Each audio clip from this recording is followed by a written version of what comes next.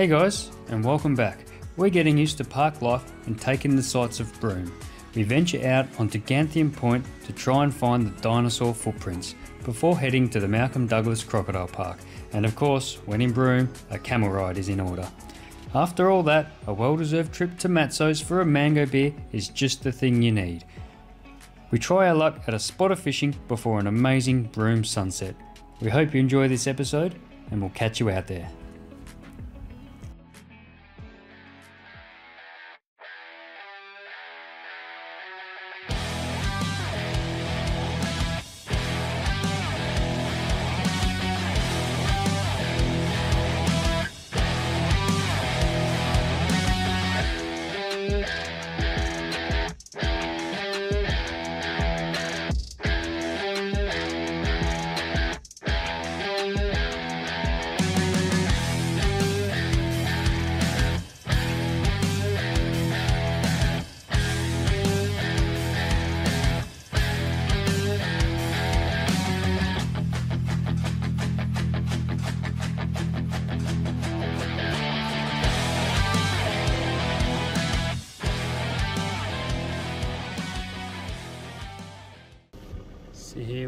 At the Cable Beach Holiday Park. It's not our preferred option, is it, caravan parks? We prefer the free camps, but hey, I think this looks pretty cool.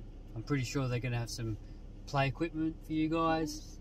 I'm pretty sure there's a pool, I'm not entirely sure, but we'll check it out when we get in there.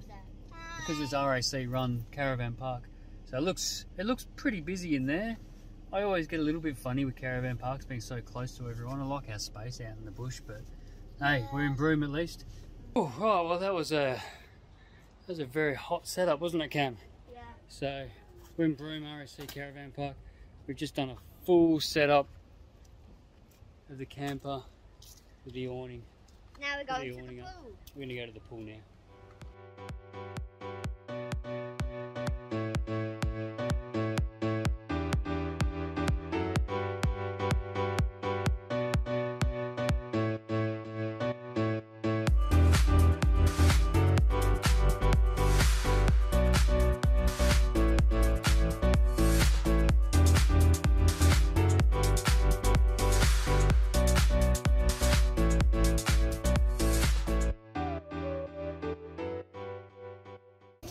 Going to be going and checking out the, what was it, the dinosaur footprints at low tide, 8 o'clock. So that'll be fun, I reckon the kids will get a kick out of that.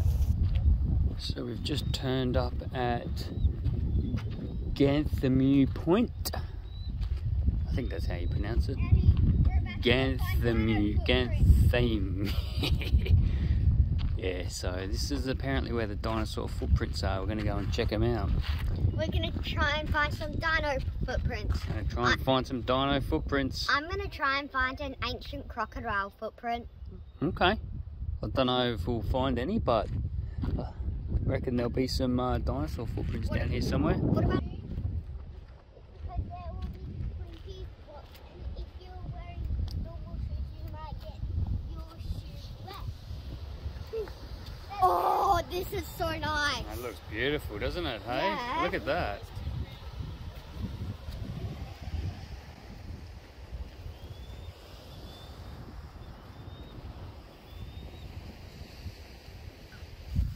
Romances. Those the Aboriginal names, do you think? Mama. Yeah. The brown booby. Wait, what? The brown booby. See? Brown booby. That's, oh, the brown. Bits of information about the dinosaur footprints that we are unable to find, and down the very bottom it says these footprints are difficult to find and can only be seen at very low tide. Conditions can be treacherous, and visitors are not encouraged to seek out the prints. Wow. This footprint can be seen at low tide around cable. So we're still on the hunt for the elusive footprints. We think we're in the right area, but apparently they're extremely difficult to find. So we're just scrabbling around on the rocks trying to locate them at the moment. And Cammy's just found a big. Is there? A, you better be careful. There's not a creature in there. There's a snail. He might bite you. Maybe he's got a stinger. No, it's a snail. He's doing some research She's looking for the exact location on the Facebook group. And we're just scrabbling over the rocks, seeing if we can find anything that looks like a three-toed dinosaur footprint. So you got to be here at extremely low tide, and we're at the peak of the low tide at the moment. So let's keep looking. Not sure if we found the dinosaur footprints. Um, we had a good scrabble along the rocks, sent the drone up and got some amazing footage out there. It's absolutely beautiful and the kids are running around looking in all the little rock pools and looking at the crabs and all that sort of stuff. So we're probably just going to go for a little drive along the beach now, see if we can find the beach access. But um, yeah, it's certainly, look at the colour of the water out there. I mean, my God, glorious.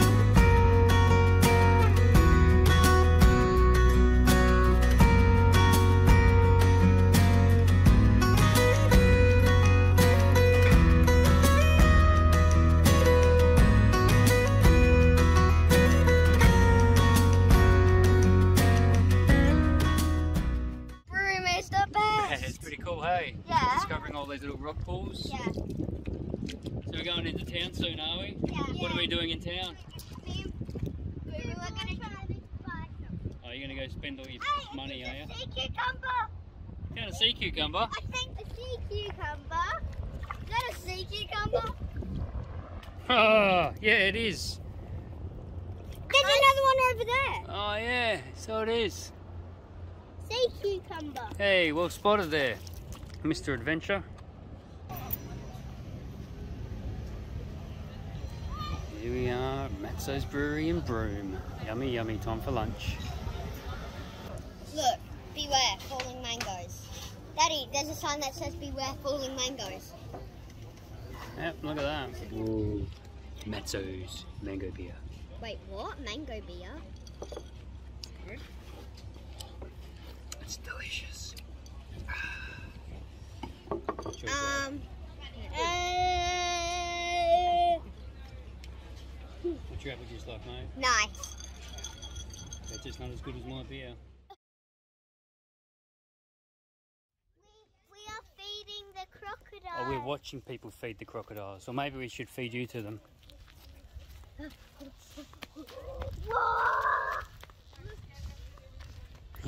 The Malcolm Douglas Crocodile Feeding Place. Hey, Crocodile Park. We're about to go into the mouth of a giant crocodile. It's a salty. I'm standing on the salty. I'm standing on the salty.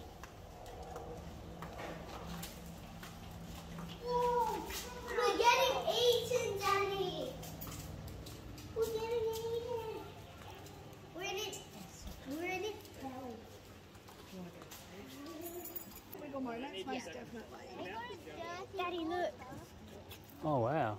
They Yeah, we'll got have a hold in dirty a sec. Those are, Daddy, those are freshwater crocodiles. These are salty. Oh, they're big, aren't they? Cameron? Cam, where's Cam?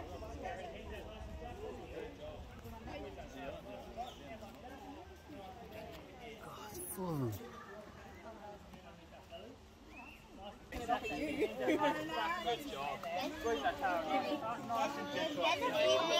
Yeah. Hey, bud.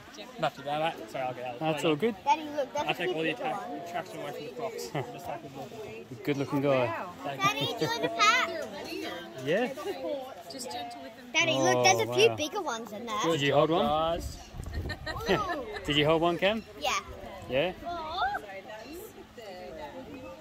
He's a big There you go. Ah, You hold that? baby. Can I have a hold? That was a big Too easy, mate. So just squeeze that tail nice and tight, nice and gentle that belly.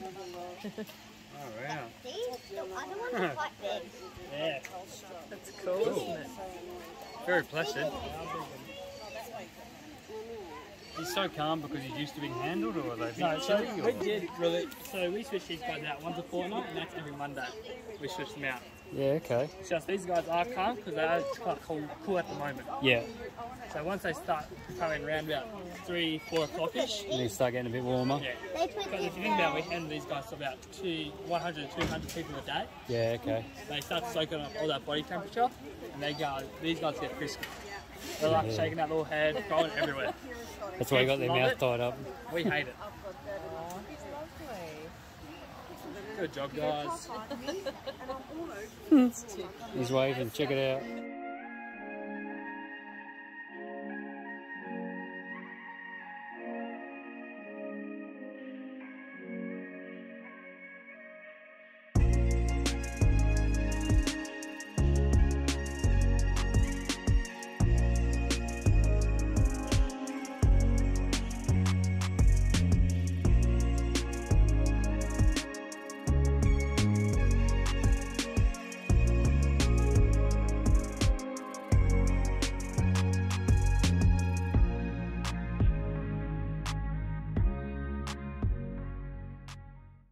About big crocs a little bit later on, but first I just wanted to point out what's happening here. Food's just going to waste, that's what's happening. So you notice most of these crocodiles on the bank over here, and most of them are in the water over there, hey? And so the reason why is because there's another bully in here right now at this very moment. At this very moment. And that bully's on that side, which is why none of them are on that side. Let's see if we can find them today without losing them. Anyway, he's over there. When he finds that piece, hopefully, he's going to take his head out to swallow it so he doesn't drown. And he'll also stick his tail out the other end when he does that. And so when he does, you see just how big he is.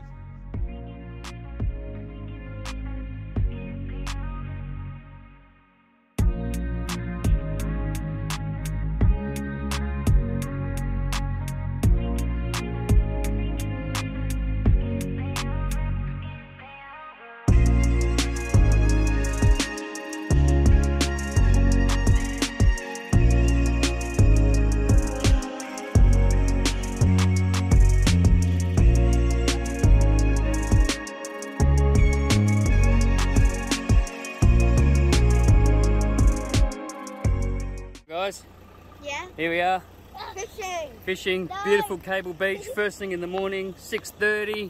We need to um Got the car here eventually, had to get jump started, I left a whole bunch of stuff plugged in.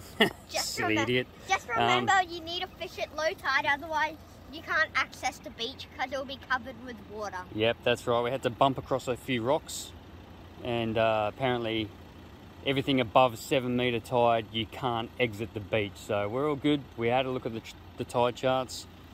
So now we're gonna go for a couple of hours fishing, and then we go back. We've got the tour to the horizontal falls today. But I don't know. We should be staying here all day. This is amazing, isn't it? Absolutely beautiful. And now we're going to go fishing at Cable Beach. Who knows what we'll catch? Probably nothing. Oh, buddy! Keep reeling! Keep reeling! oh, bring him over here. Look at the camera. Gives a thumbs up. Yeah!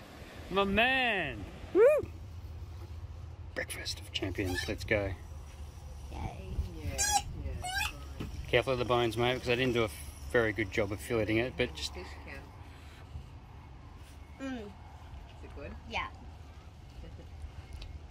don't get any fresher than that, do you, mate? Be pretty hot, just come off the pan. your birthday. Time for Daddy to have a taste. I know. Incredible, hey? I know. Mm. Can I have a taste? Oh, that is good. Yeah. Can I have a Oh. taste? You want some as well, Jacqueline? I'm gonna have a little taste. Okay, hang on. Yeah, we'll do. Mm, Yeah, thank you. that's pretty good.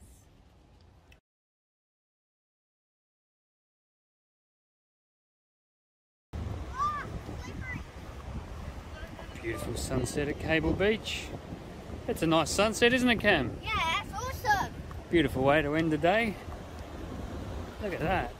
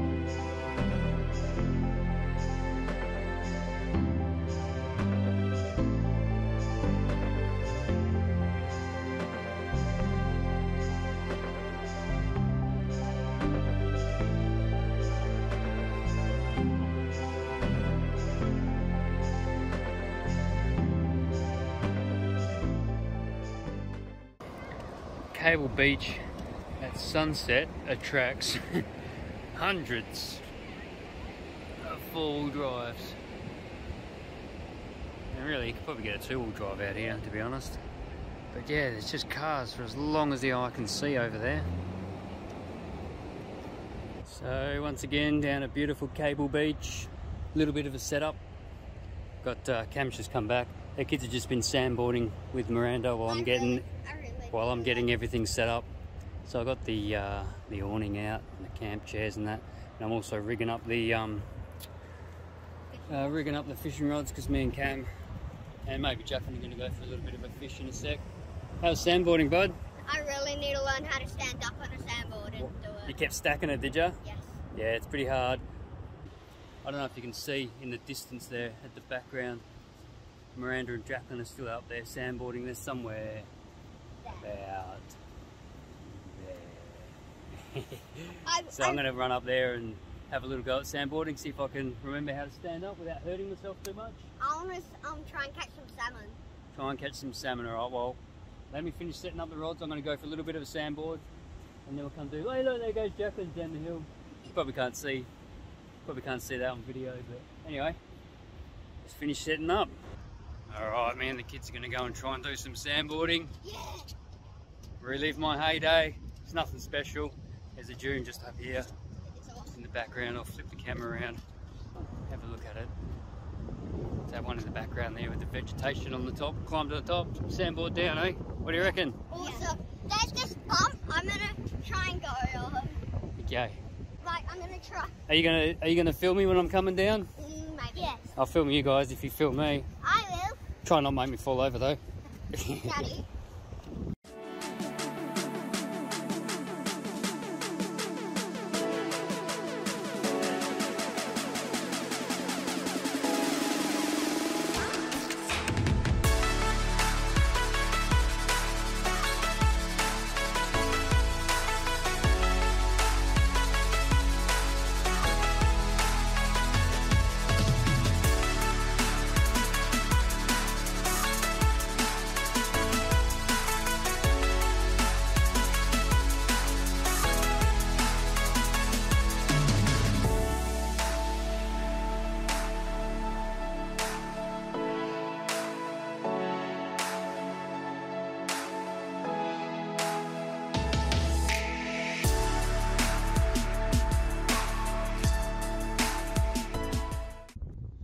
was awesome. Oh, you want to run it back up for Jacqueline? I didn't stack it. Woo! That's a win. What's this lazy mama doing? Ah, still reading your book. Got this nice shade sail and you're sitting in the sun, you Wally.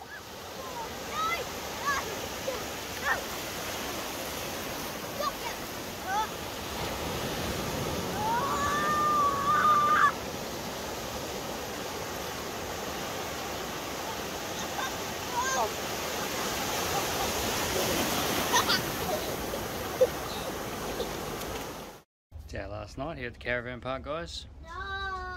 Where are we going tomorrow? Packing up in the morning and going to Cape Leveque, 250 k's north, is that right? Something like that. We're going on camel rides. When are we leaving? Three o'clock? about 3 o'clock. Camel rides on Cable Beach. The afternoon camel rides, no sunset. Not watching the sunset. We watched that last night. So do you watch it today? Might get a 20 minute rest, I think. We're, go, we're also going to the night markets. Oh yeah, got night markets. And they got food vans and food trucks and stuff there Baba, because it's That's what we're gonna have. sunny, for dinner. Something like draw the food some truck. sunscreen. Come on guys. We got camels to get on. Go on. Get yourself all sorted, let's go. Camels.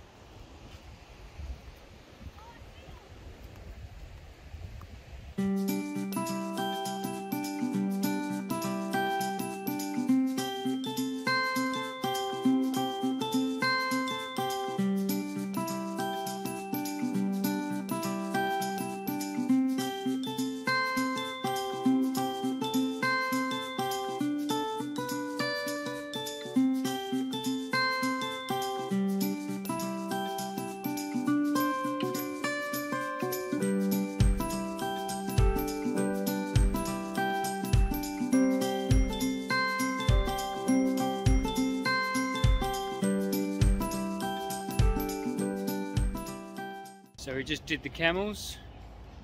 Hey guys, we're back at Matso's again because we got a buy one, get one free. And So we- why not? So, That's what I say. Why not? Tastes even better after riding camels. And, and a freebie, yeah. Yep. It's good. Miranda's in her element, night markets, food vans.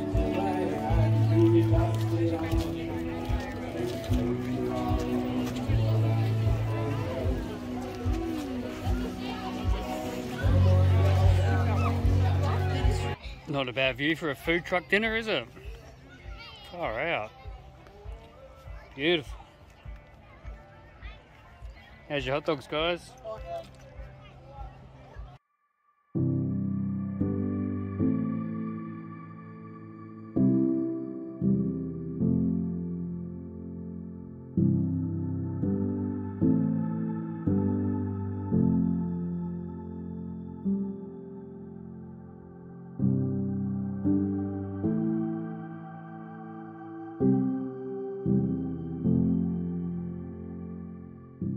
We're just down here at Town Beach in Broome after a lovely little food truck dinner. Just gonna go and check out these mangroves here before it gets too dark. See what that's all about. Yes, look at the. I mean, they're not roots. I don't. I can't remember. They're like little snorkels. It's like how they get their carbon dioxide, I guess, out of the atmosphere. I think. Could be wrong. It's cool though. Gets pretty boggy up in through here. I'm not going to be able to walk too far before I get stuck. Thongs seem to be grabbing on the sand quite a bit. Whoop, sinking in. We're sinking in. oh, this is cool, man.